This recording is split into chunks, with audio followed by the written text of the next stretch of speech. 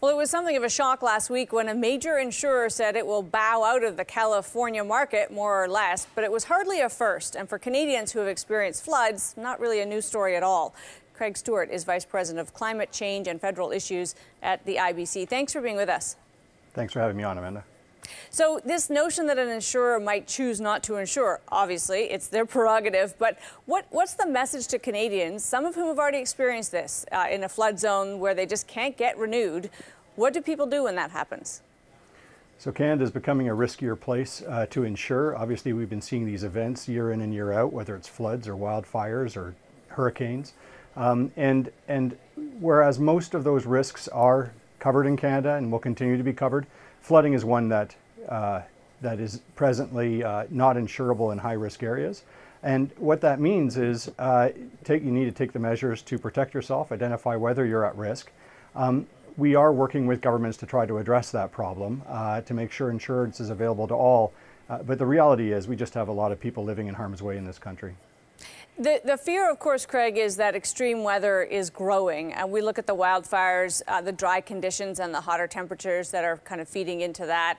And, and, the real issue is if we level up, that the folks that insure the insurers, uh, which is the global reinsurance market, are also pricing this stuff more expensively and in some cases not wanting to do it. Is this just the beginning, the thin edge of a wedge, where insurance for some things will just be harder and harder to get? Yes, the answer is without some sort of partnership with governments across the country, it's going to be difficult to keep insurance available and affordable uh, given the acceleration of climate induced events across the country.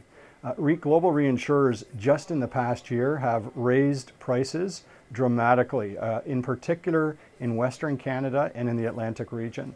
Uh, this is driven by changes in their models uh, based on uh, recent events uh, but also in, in models for things like earthquake, where we haven't had one, uh, but uh, new science has shown that uh, Canada is actually uh, uh, just a riskier place. reinsurers are reflecting that in their pricing, and of course, insurers are absorbing some of that, but passing some of it down to their customers. So just to reflect on that for a second, to, to not be insured when a major event happens can be economically catastrophic for individuals. They can lose houses, they can lose lots of property, uh, damaged goods. If that happens at scale, if a whole neighborhood or a whole city or town actually faces that same problem, is it not de facto going to be an issue that taxpayers and governments have to step in to help with? You can't actually let a whole city get wiped out. That's absolutely true. And that is why we have uh, been discussing this with the federal government uh, since 2017. Uh, so for the past six, year, six years, we've raised the alarm, said there's certain places in this country where earthquake insurance and where flood insurance are going to be problematic, and we're going to need mm -hmm. partnerships in order to address this problem. Uh, otherwise, we're not going to be able to keep insurance available. As I understand it, uh, the lower mainland of British Columbia is one place it's hard to get insurance for earthquake. So we've seen a tightening of the earthquake insurance market. Um, what happened was in 2019, Natural Resources Canada updated their seismological maps for the country and uh, realized, we all realized, that uh, earthquake risk in the more, lower mainland of BC was almost double what we had previously thought. Mm. Um, and, uh, and that has led uh, insurers to, uh, you know, basically restrict their risk appetite, is what we call it, uh, they've basically said, look, we've taken on enough risk in this market. We can't really afford to take on any more. Reinsurance prices have gone up dramatically. Uh, and, and that's uh, an example of a place where we need some sort of solution with governments if, if we're going to be able to keep it, uh, keep insurance available. Craig, it's great to have you for this. We appreciate it. Yeah, thank you for the time. Craig Stewart is Vice President of Climate Change and Federal Issues with the Insurance Bureau of Canada. Time for the takeaway and taking a more balanced view. In a bit of theatrics, even by Ottawa's standards, the leader of Canada's opposition this week threatened to block passage of the federal budget, the one we first saw back in March.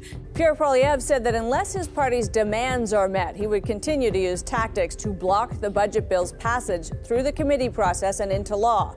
Continuing is the operative word there because the Conservatives have already stalled this bill in a big way, including introducing 900 amendments to the budget bill and calls for witnesses at the Finance Committee reviewing the bill has forced more than 600 votes so far. Now there are clear demands being made. Mr. Poilievre says that unless the government shows a path to a balanced budget and also kills a planned increase in the price of carbon, the Conservatives will not support the budget. Can they really do that in a parliament where they do not hold a plurality of seats? Not really. The Liberals, with the support of the NDP, were able to pass this budget into law by Thursday. But as is clear, if they want to obstruct it, they can do so.